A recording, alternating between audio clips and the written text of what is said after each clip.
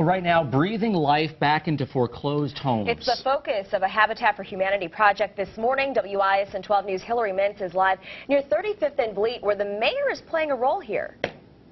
Right, Marianne. At 10:30 this morning, Mayor Barrett will sign over the deed to this property here, 1321, to Habitat for Humanity, because for the first time in 10 years, instead of tearing this down, building from the ground up, they're going to do a little rehab. Okay, actually, a lot of rehab. They're going to convert this duplex into a single-family home and completely redo the five bedrooms, kitchen, two baths.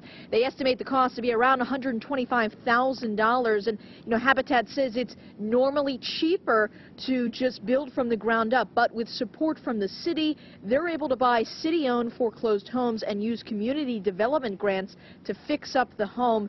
And they plan to renovate a total of six homes in the next year and a half. And, you know, North 36th Street right here that we're on, actually a big focus for Habitat for Humanity because if you look across the street there, there's about five homes there. You can see that look pretty new. They were built in 2005. So again, sprucing up the neighborhood here, but this will be the first rehab project in the last 10 years for Habitat. For now, we're live near 36th and Validum. Hillary Mintz, WISN 12 News this morning.